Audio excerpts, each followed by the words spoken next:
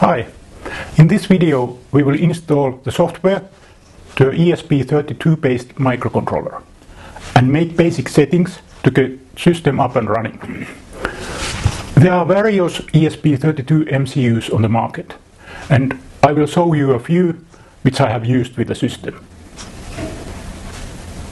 Typically this kind of ESP development boards have an integrated USB, so it's easy to upload software with a normal USB cable.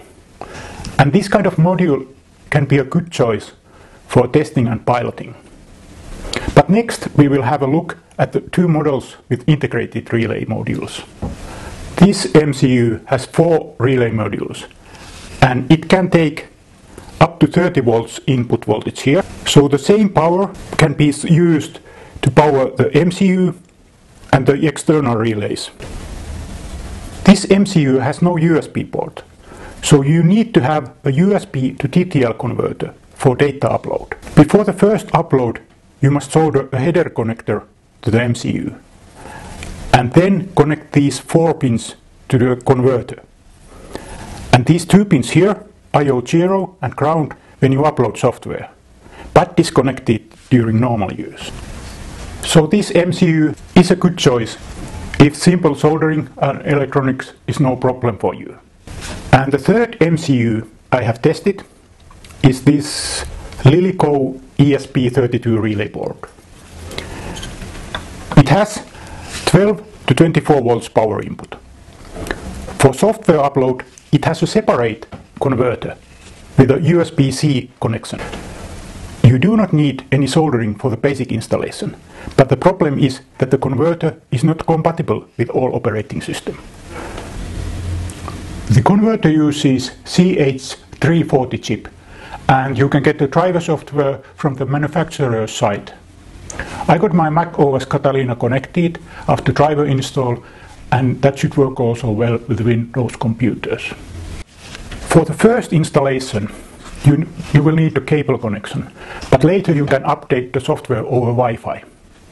Basically, the easiest way to start the installation is from the web page.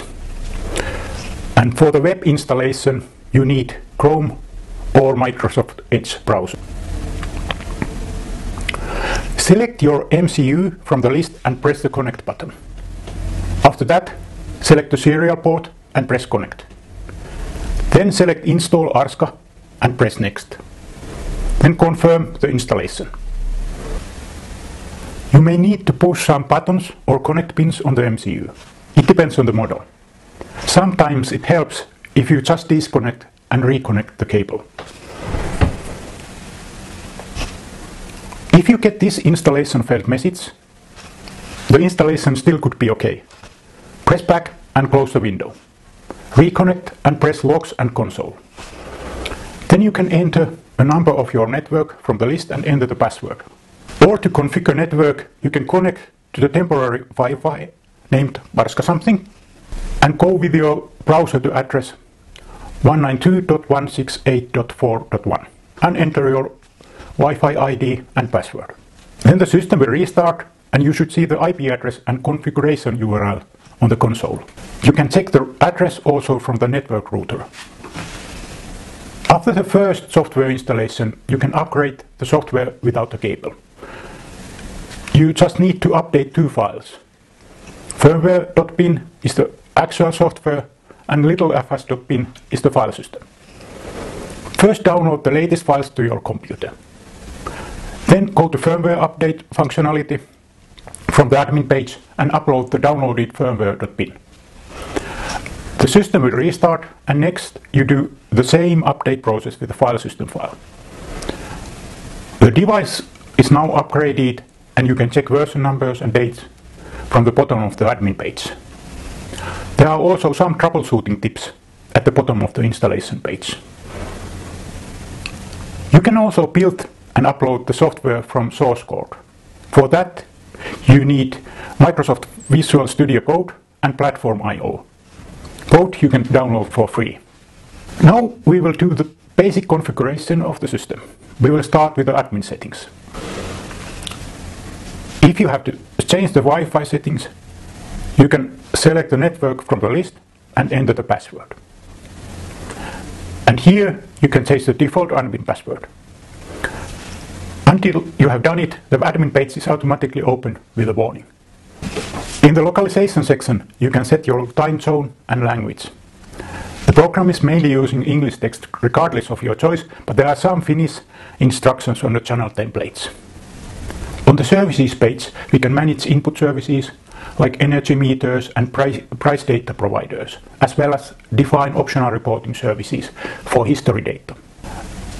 At the moment, three metering types are supported. Shelly 3 EM device can measure energy imported from the grid in real time. In the host definition, enter the IP address of your Shelly device. If the device is protected with a password, add the user ID and password to the beginning. If there is no Shelly device, solar production can be read from some Fronius and SMA inverter models. SMA Modbus connection requires also port and unit IDs. In the data sources section, we define parameters for price and energy forecast. To get price data, you need an API key from ENTSO-E which is the Association of European Grid Operators. To get an API key, you just need to register to the transparency service and send a, sh a short email to them. You can share the API key with other devices too. Check Wiki for more detailed information about the settings. Select your price area from the list. Some European countries are divided into multiple price areas. The solar power forecast is currently working only in Finland. Select the nearest location for the forecast. InfluxDB is a database for reporting and analysis.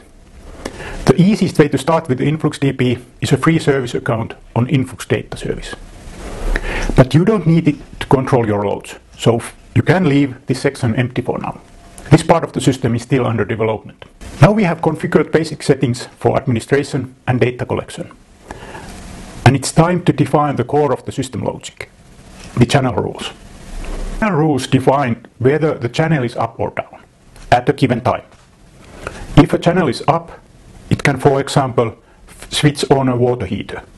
In the current version, the channel can control loads with internal GPIO relays or a relay port in a Shelly EM energy meter.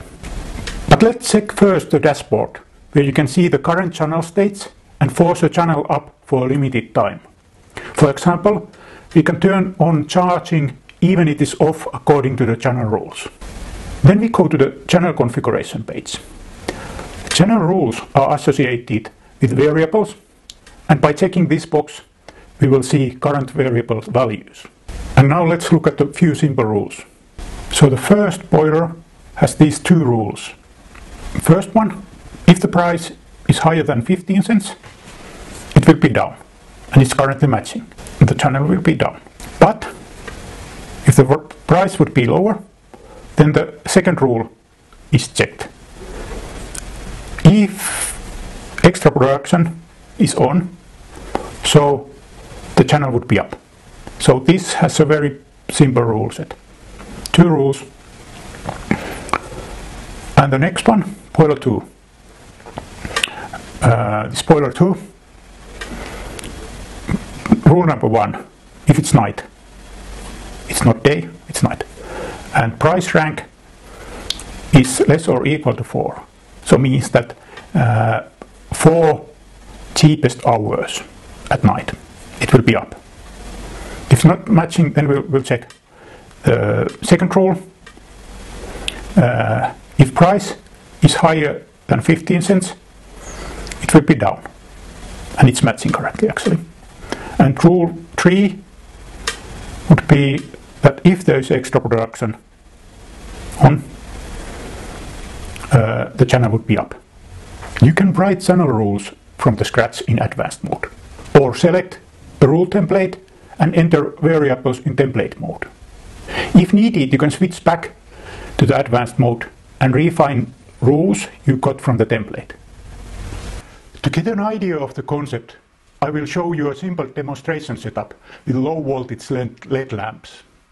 So we are not using high voltage here. But first, an important safety note. Always leave mains current installations to a licensed electrician. I just have three points about the setup. First, the LILYGO MCU uses here 24 volts DC input and the same voltage is used these external relays which are controlling the actual loads. Second, this relay here has also manual control. So if needed, you can bypass the automation and switch the relay on and off manually. And third, something we want to develop in the future. We could control some devices directly. If a device is able to read so-called dry or potential-free contacts. Closing a relay could, for example, activate higher target temperature on a heat pump. And it's time to spectacle because we don't have time to wait for electricity price to drop. So I will manually switch up the channels from the dashboard.